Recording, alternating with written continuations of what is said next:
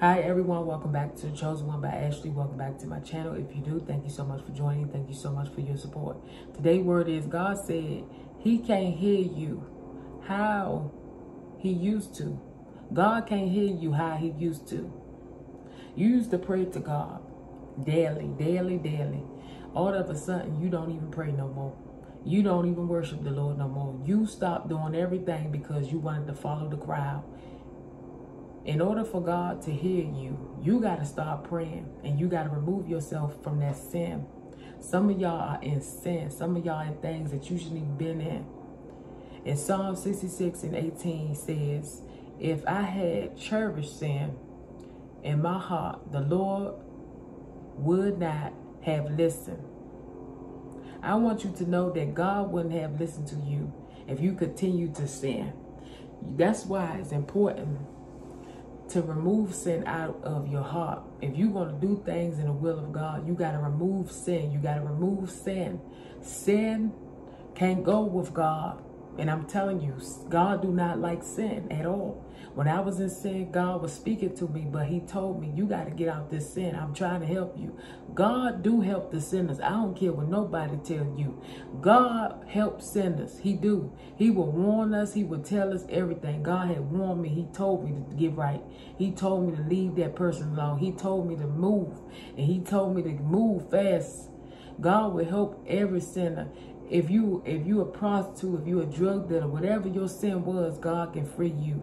You do not have to stay in sin. I'm a living witness. I'm a living testimony. I'm telling you, I was a sinner and God can change you.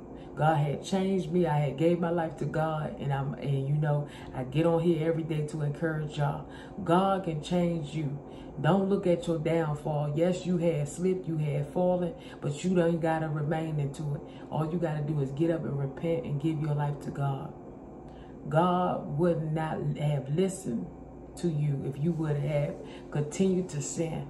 You don't know, but I'm going to tell y'all this. When you continue to sin, you halfway dead. A lot of people don't tell you that. That's why a lot of pastors don't want to talk on sin. But I'm going to tell you, when you in sin, you halfway dead. And a lot of people don't want to talk like this, but I'm going to tell you, when you doing things out the will of God, you on your way on your deathbed because a lot of people don't understand when you sinning over and over again the way listen when that person is having sex with you you become having soul ties. You be having emotional and all this stuff. That's why the bible says seek me first. You got to seek god so everything can be added in your life. God gonna add that woman. He gonna add that man. He gonna add those kids. He gonna add that wedding. He gonna do whatever he need to do.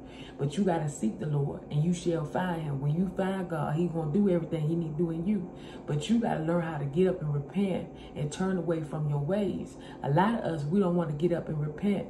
You gotta learn how to get up and repent and say, Lord, you have your way in my life. I'm sorry what I did.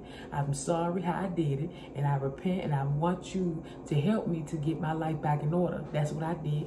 When I was in sin, when I was doing things my way, I said, God, you have mercy on me. You help me. You fix my life. And he did it. God can change anybody when you want to be right, when you want to do his will. He can change you.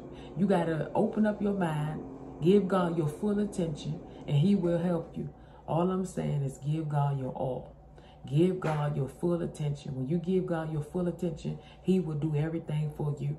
Thank you for watching. Be encouraged. God bless you all. Continue to pray and fast. Thank you for watching. Have a blessed one.